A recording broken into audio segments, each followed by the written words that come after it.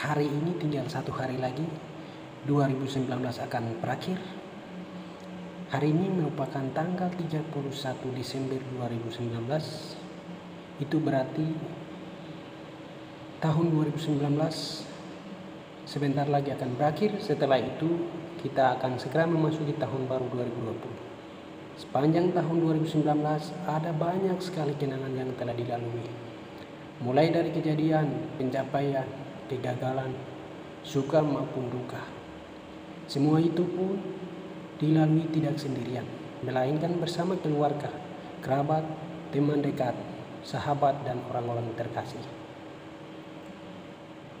Karena itu, saya atas nama pribadi menyampaikan permohonan maaf jika di tahun 2019 ada banyak hal yang menyakiti perasaan hati sahabat-sahabatku yang ada di seluruh tanah Papua dan khususnya di Kabupaten Yahukim.